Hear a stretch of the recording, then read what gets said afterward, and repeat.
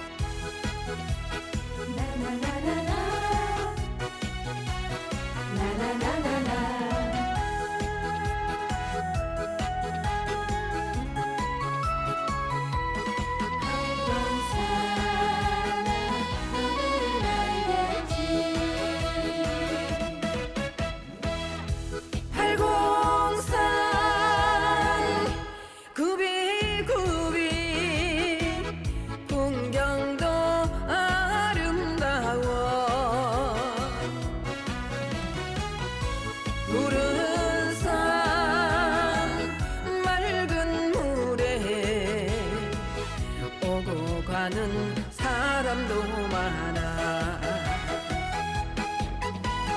처음으로 만난 사람 눈빛으로 인사를 하며 내일도 기다리고 기다리는데.